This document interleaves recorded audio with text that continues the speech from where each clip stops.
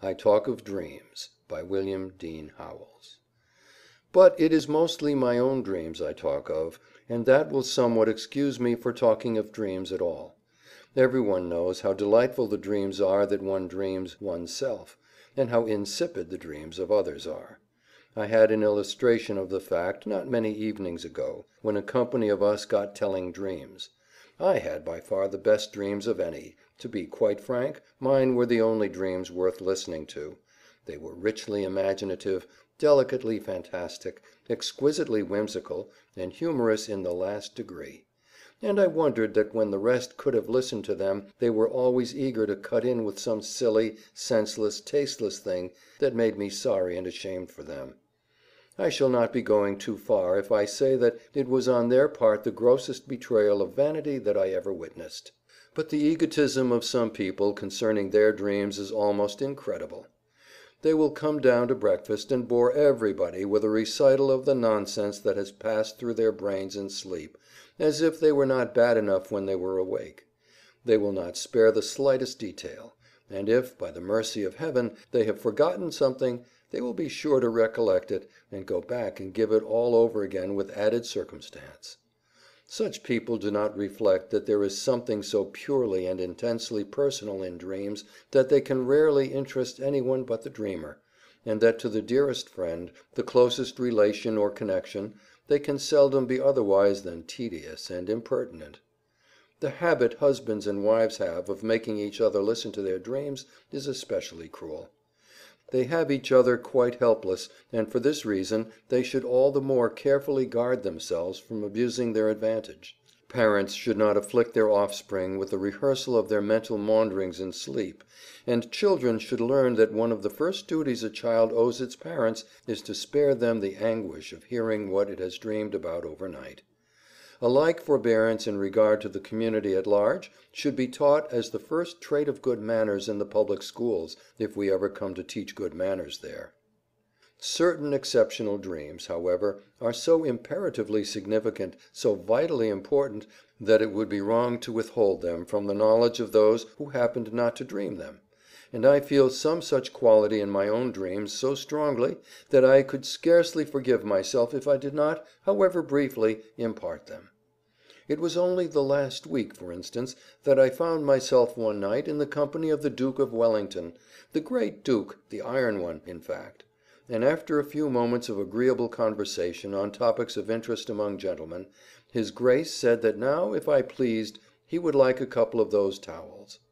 We had not been speaking of towels, that I remember, but it seemed the most natural thing in the world that he should mention them in the connection, whatever it was, and I went out at once to get them for him.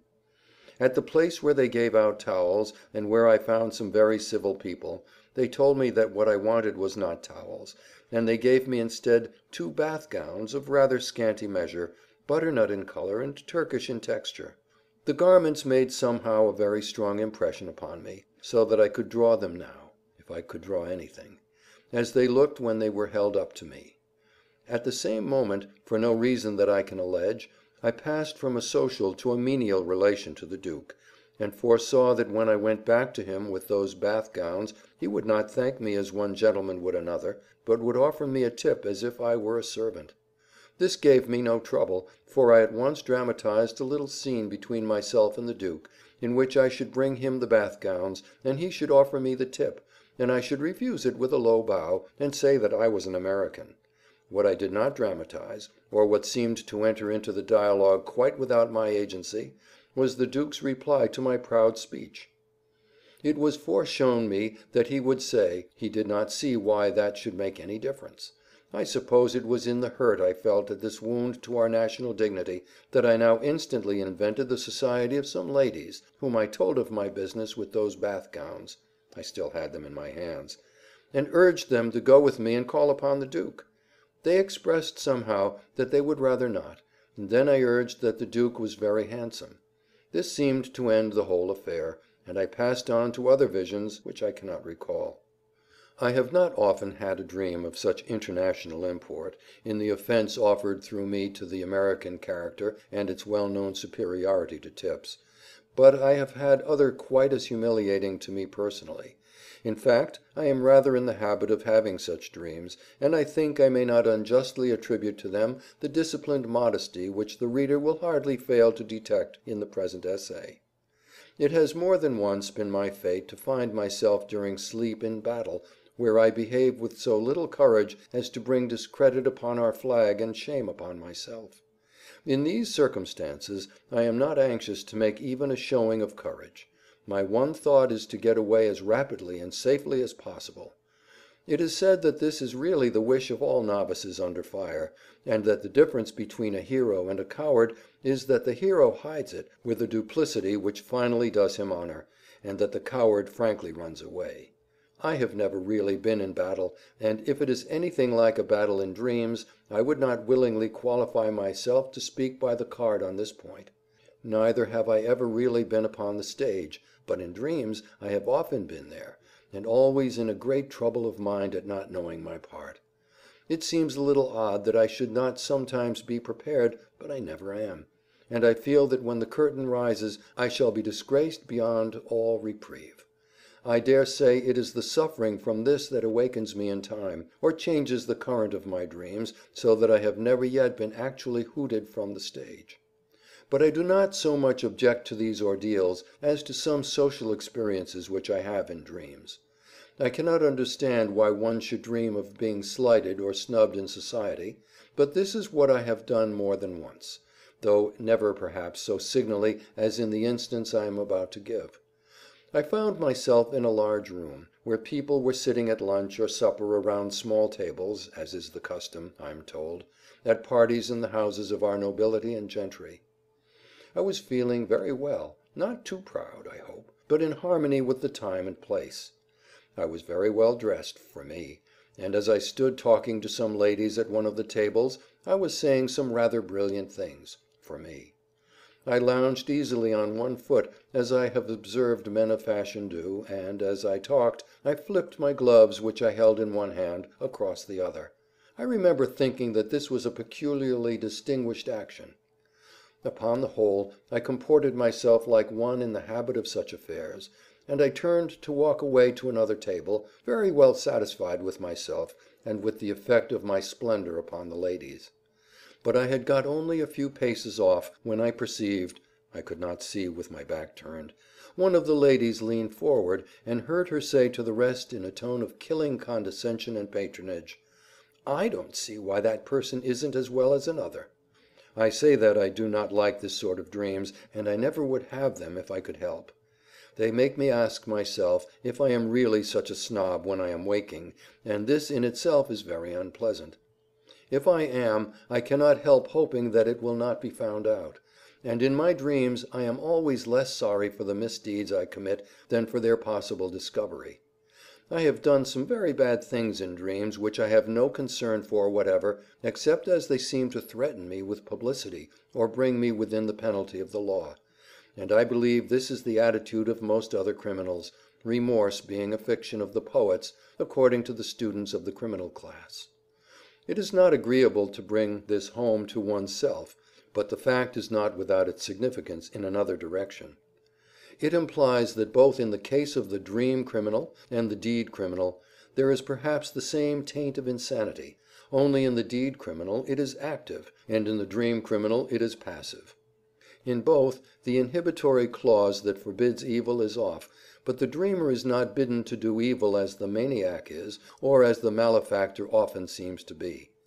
The dreamer is purely unmoral; good and bad are the same to his conscience. He has no more to do with right and wrong than the animals; he is reduced to the state of the merely natural man, and perhaps the primitive men were really like what we all are now in our dreams. Perhaps all life to them was merely dreaming, and they never had anything like our waking consciousness, which seems to be the offspring of conscience, or else the parent of it. Until men passed the first stage of being, perhaps that which we call the soul, for want of a better name, or a worse, could hardly have existed. And perhaps in dreams the soul is mostly absent now.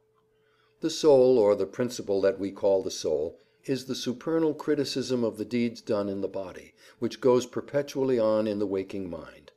While this watches and warns or commands, we go right, but when it is off duty we go neither right nor wrong, but are as the beasts that perish. A common theory is that the dreams which we remember are those we have in the drowse which precedes sleeping and waking, but I do not altogether accept this theory, in fact there is very little proof of it. We often wake from a dream, literally, but there is no proof that we did not dream in the middle of the night the dream which is quite as vividly with us in the morning as the one we wake from.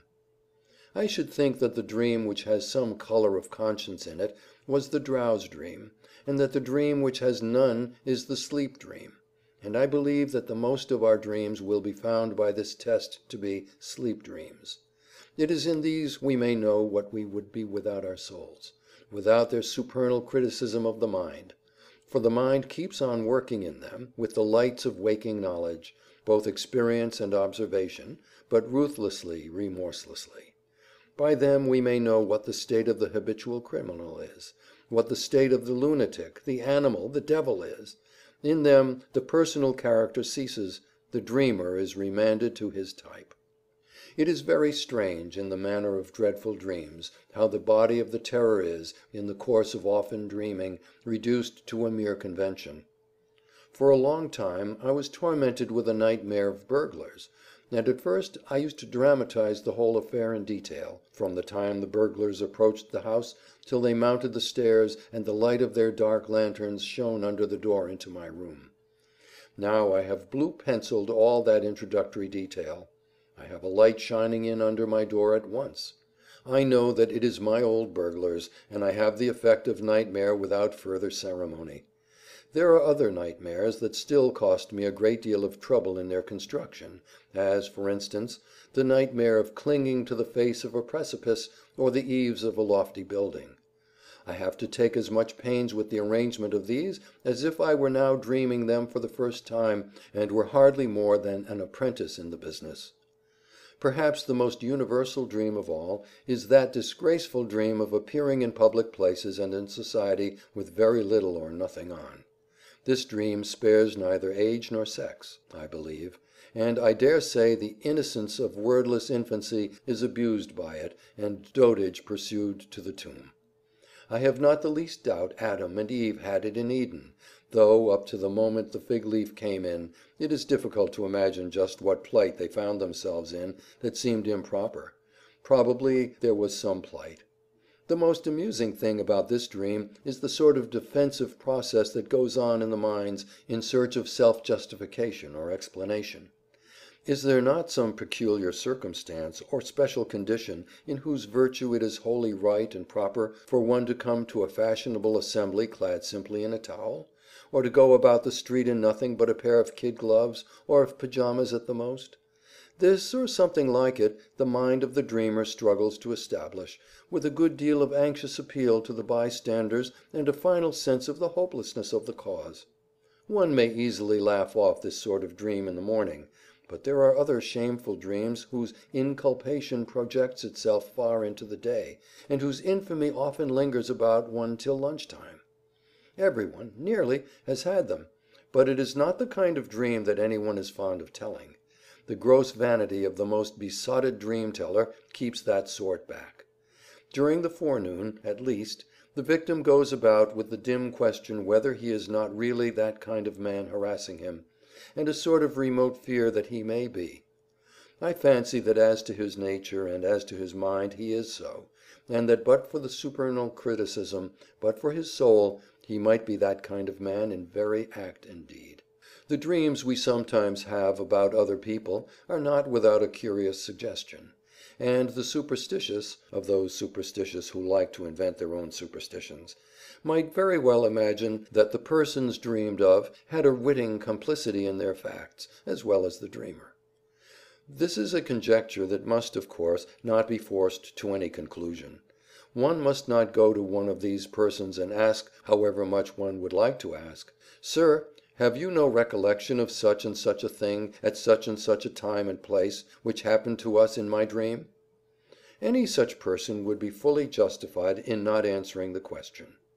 It would be, of all interviewing, the most intolerable species. Yet a singular interest, a curiosity not altogether indefensible, will attach to these persons in the dreamer's mind, and he will not be without the sense, ever after, that he and they have a secret in common. This is dreadful, but the only thing that I can think to do about it is to urge people to keep out of other people's dreams by every means in their power. There are things in dreams very awful, which would not be at all so in waking quite witless and aimless things, which at the time were of such baleful effect that it remains forever. I remember dreaming when I was quite a small boy, not more than ten years old, a dream which is vivider in my mind now than anything that happened at the time. I suppose it came remotely from my reading of certain "Tales of the Grotesque and the Arabesque," which had just then fallen into my hands and it involved simply an action of the fire company in the little town where I lived. They were working the brakes of the old fire engine, which would seldom respond to their efforts, and as their hands rose and fell they set up the heart shaking and soul desolating cry of "Arms Poe! Arms Poe! Arms Poe!" This and nothing more was the body of my horror, and if the reader is not moved by it the fault is his and not mine for I can assure him that nothing in my experience had been more dreadful to me. I can hardly except the dismaying apparition of a clown whom I once saw, somewhat later in life, rise through the air in a sitting posture and float lightly over the house roof, snapping his fingers and vaguely smiling, while the antennae on his forehead, which clowns have in common with some other insects, nodded elasticity. I do not know why this portent should have been so terrifying, or indeed that it was a portent at all, for nothing ever came of it. What I know is that it was to the last degree threatening and awful. I never got anything but joy out of the circuses where this dream must have originated, but the pantomime of Don Giovanni which I saw at the theatre was as gruesome to me waking as it was to me dreaming. The statue of the Commendatore, in getting down from his horse to pursue the wicked hero, I think that is what he gets down for, set an example by which a long line of statues afterward profited in my dreams. For many years, and I do not know but quite up to the time when I adopted burglars as the theme of my nightmares, I was almost always chased by a marble statue with an uplifted arm, and almost always I ran along the verge of a pond to escape it. I believe that I got this pond out of my remote childhood and that it may have been a fish pond embowered by weeping willows, which I used to admire in the dooryard of a neighbor. I have somehow a great respect for the material of this earlier nightmare than I have for that of the later ones, and no doubt the reader will agree with me that it is much more romantic to be pursued by a statue than to be threatened by burglars. It is but a few hours ago, however, that I saved myself from these inveterate enemies by waking up just in time for breakfast. They did not come with that light of the dark lanterns shining under the door, or I should have known them at once, and not had so much bother. But they intimated their presence in the catch of the lock, which would not close securely, and there was some question at first whether they were not ghosts. I thought of tying the doorknob on the inside of my room to my bedpost, a bedpost that has not been in existence for fifty years; but after suffering a while I decided to speak to them from an upper window. By this time they had turned into a trio of harmless, necessary tramps, and at my appeal to them absolutely nonsensical as I now believe it to have been, to regard the peculiar circumstances, whatever they were or were not, they did not really get up from the back porch where they were seated and go quietly away. Burglars are not always so easily to be entreated. On one occasion, when I found a party of them digging at the corner of my house on Concord Avenue in Cambridge, and opened the window over them to expostulate, the leader looked up at me in well affected surprise. He lifted his hand, with a twenty dollar note in it, toward me, and said, "Oh, can you change me a twenty dollar bill?" I expressed a polite regret that I had not so much money about me, and then he said to the rest, "Go ahead, boys," and they went on undermining my house. I do not know what came of it all. Of ghosts I have seldom dreamed, so far as I can remember. In fact, I have never dreamed of the kind of ghosts that we are all more or less afraid of, though I have dreamed rather often of the spirits of departed friends. But I once dreamed of dying, and the reader, who has never died yet, may be interested to know what it is like.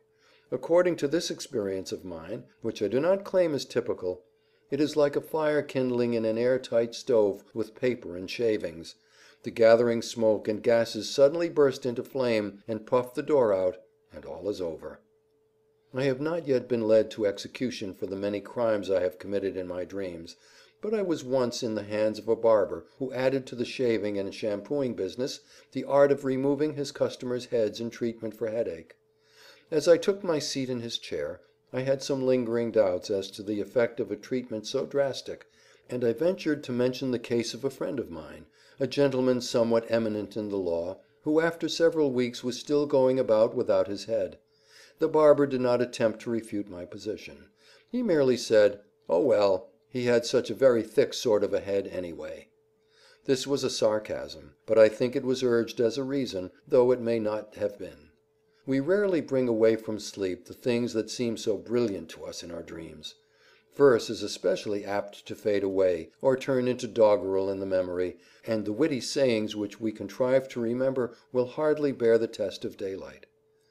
The most perfect thing of the kind out of my own dreams was something that I seemed to wake with the very sound of in my ears. It was after a certain dinner, which had been rather uncommonly gay, with a good deal of very good talk, which seemed to go on all night, and when I awoke in the morning some one was saying, "Oh, I shouldn't at all mind his robbing Peter to pay Paul, if I felt sure that Peter would get the money." This I think really humorous, and an extremely neat bit of characterization. I feel free to praise it, because it was not I who said it. Apparently the greater part of dreams have no more mirth than sense in them.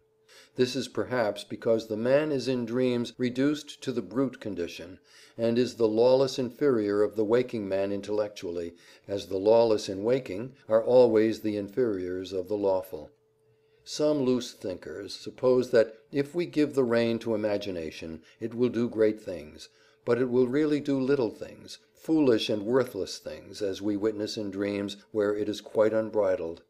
It must keep close to truth, and it must be under the law if it would work strongly and sanely. The man in his dreams is really lower than the lunatic in his deliriums. These have a logic of their own, but the dreamer has not even a crazy logic. Like a dog he hunts in dreams, and probably his dreams and the dog's are not only alike, but are of the same quality. In his wicked dreams the man is not only animal, he is devil, so wholly is he let into his dreams, as the Swedenborgians say. The wrong is indifferent to him until the fear of detection and punishment steals in upon him. Even then he is not sorry for his misdeed, as I have said before; he is only anxious to escape its consequences. It seems probable that when this fear makes itself felt he is near to waking, and probably when we dream, as we often do, that the thing is only a dream, and hope for rescue from it by waking, we are always just about to wake. This double effect is very strange, but still more strange is the effect which we are privy to in the minds of others when they not merely say things to us which are wholly unexpected, but think things that we know they are thinking, and that they do not express in words. A great many years ago, when I was young, I dreamed that my father, who was in another town, came into the room where I was really lying asleep and stood by my bed. He wished to greet me, after our separation but he reasoned that if he did so I should wake, and he turned and left the room without touching me. This process in his mind, which I knew as clearly and accurately as if it had apparently gone on in my own, was apparently confined to his mind as absolutely as anything could be that was not spoken or in any wise uttered. Of course it was of my agency, like any other part of the dream, and it was something like the operation of the novelist's intention through the mind of his characters. But in this there is the author's consciousness that he is doing it all himself, while in my dream the reasoning in the mind of another was something that I felt myself mere witness of. In fact there is no analogy, so far as I can make out, between the process of literary invention and the process of dreaming. In the invention the critical faculty is vividly and constantly alert; in dreaming it seems altogether absent. It seems absent, too, in what we call day dreaming, or that sort of dramatizing action which perhaps goes on perpetually in the mind, or some minds. But this day dreaming is not otherwise any more like night dreaming than invention is; for the man is never more actively and consciously a man, and never has a greater will to be fine and high and grand than in his day dreams, while in his night dreams he is quite willing to be a miscreant of any worst sort. It is very remarkable, in view of this fact, that we have now and then, though ever so much more rarely, dreams that are as angelic as those others are demoniac. Is it possible that then the dreamer is let into his goods (the word is Swedenborg's again) instead of his evils? It may be supposed that in sleep the dreamer lies passive, while his proper soul is away, and other spirits, celestial and infernal, have free access to his mind, and abuse it to their own ends in the one case, and use it in his behalf in the other. That would be an explanation, but nothing seems quite to hold in regard to dreams. If it is true, why should the dreamer's state so much oftener be imbued with evil than with good? It might be answered that the evil forces are much more positive and aggressive than the good, or that the love of the dreamer, which is his life, being mainly evil, invites the wicked spirits oftener. But that is a point which I would rather leave each dreamer to settle for himself. The greater number of everyone's dreams, like the romantic novel, I fancy, concern incident rather than character, and I am not sure after all that the dream which convicts the dreamer of an essential baseness is commoner than the dream that tells in his favor morally. I dare say every reader of this book has had dreams so amusing that he has wakened himself from them by laughing, and then not found them so very funny, or perhaps not been able to recall them at all. I have had at least one of this sort remarkable for other reasons, which remains perfect in my mind, though it is now some ten years old. One of the children had been exposed to a very remote chance of scarlet fever at the house of a friend, and had been duly scolded for the risk, which was then quite forgotten. I dreamed that this friend, however, was giving a ladies' lunch, at which I was unaccountably and invisibly present, and the talk began to run upon the scarlet fever cases in her family. She said that after the last she had fumigated the whole house for seventy two hours (the period seemed very significant and important in my dream), and had burned everything she could lay her hands on. "And what did the nurse burn?" asked one of the other ladies. The hostess began to laugh. "The nurse didn't burn a thing." Then all the rest burst out laughing at the joke, and the laughter woke me, to see the boy sitting up in his bed and hear him saying, "Oh, I am so sick!" It was the nausea which announces scarlet fever, and for six weeks after that we were in quarantine. Very likely the fear of the contagion had been in my nether mind all the time, but so far as consciousness could testify of it, I had wholly forgotten it. One rarely loses one's personality in dreams. It is rather intensified, with all the proper circumstances and relations of it, but I have had at least one dream in which I seemed to transcend my own circumstance and condition with remarkable completeness. Even my epoch, my precious present, I left behind, or ahead rather, and in my unity with the persons of my dream I became strictly mediaeval. In fact, I have always called it my mediaeval dream, to such as I could get to listen to it and it had for its scene a feudal tower in some waste place, a tower open at the top and with a deep clear pool of water at the bottom, so that it instantly became known to me, as if I had always known it, for the Pool Tower. While I stood looking at it, in a mediaeval dress and a mediaeval mood, there came flying in at the open door of the ruin beside me the Duke's hunchback, and after him, furious and shrieking maledictions, the swarthy beauty whom I was aware the Duke was tired of. The keeping was now not only ducal, but thoroughly Italian, and it was suggested somehow to my own subtle Italian perception that the hunchback had been set on to tease the girl and provoke her so that she would turn upon him and try to wreak her fury on him, and chase him into the pool tower, and up the stone stairs that would round its hollow to the top, where the solemn sky showed. The fearful spire of the steps was unguarded and when I had lost the pair from sight, with the dwarf's mocking laughter and the girl's angry cries in my ears, there came fluttering from the height, like a bird wounded and whirling from a lofty tree, the figure of the girl, while far aloof the hunchback peered over at her fall. Midway in her descent her head struck against the edge of the steps with a "Kish!" such as an egg shell makes when broken against the edge of a platter, and then plunged into the dark pool at my feet, where I could presently see her lying in the clear depths and the blood curling upward from the wound in her skull like a dark smoke. I was not sensible of any great pity. I accepted the affair, quite mediævally, as something that might very well have happened, given the girl, the duke, and the dwarf, and the time and place. I am rather fond of mediæval setting for those dreams that wave before the half shut eye, just closing for an afternoon nap. Then I invite to my vision a wide landscape, with a cold wintry afternoon light upon it, and over this plain I have bands and groups of people scurrying in mediæval hose of divers colors and mediæval leather jerkins, hugging themselves against the frost, and very miserable. They affect me with a profound compassion. They represent to me, somehow, the vast mass of humanity, the mass that does the work and earns the bread, and goes cold and hungry through all the ages. I should be at a loss to say why this was the effect, and I am utterly unable to say why these four dreams, which I partially solicit, should have such a tremendous significance as they seem to have. They are mostly of the most evanescent and intangible character, but they have one trait in common.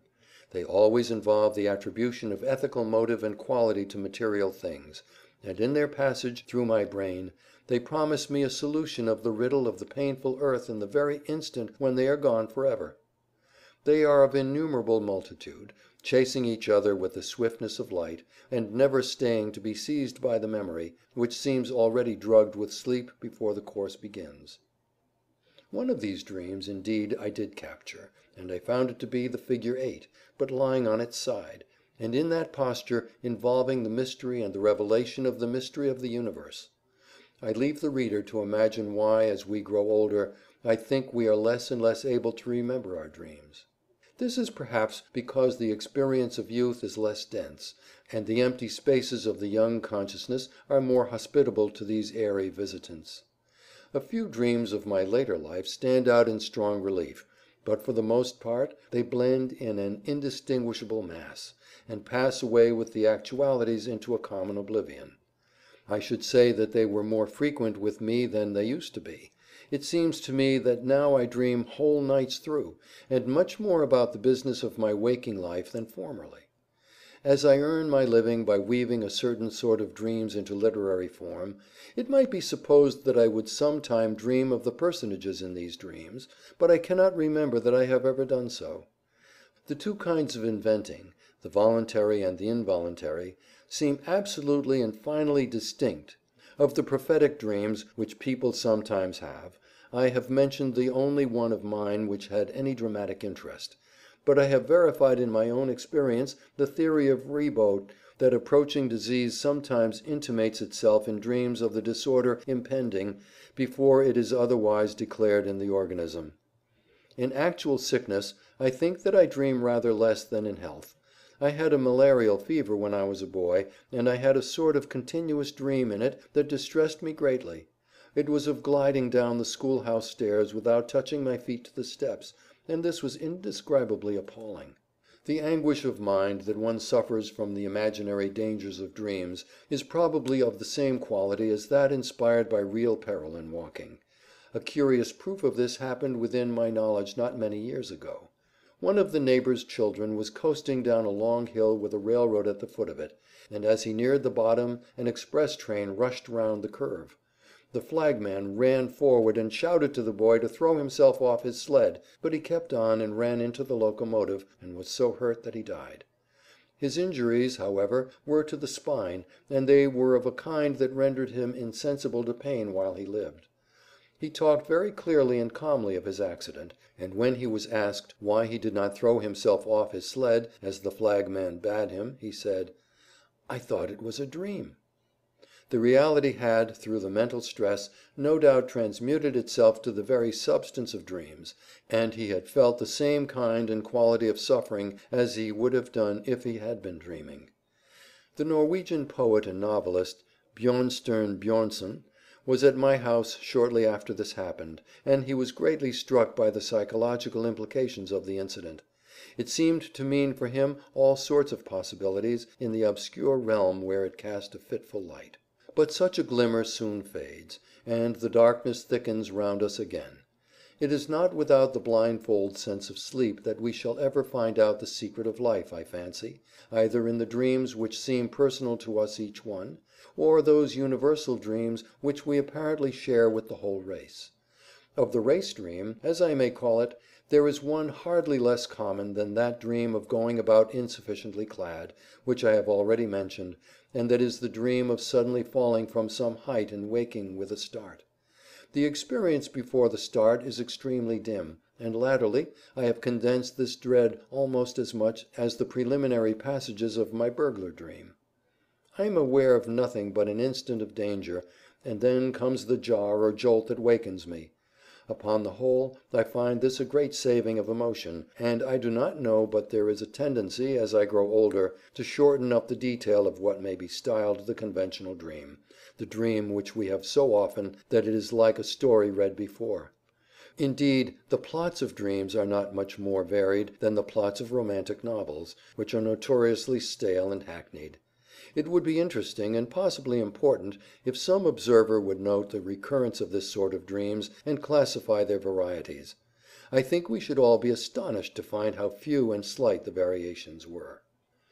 If I come to speak of dreams concerning the dead, it must be with a tenderness and awe that all who have had them will share with me.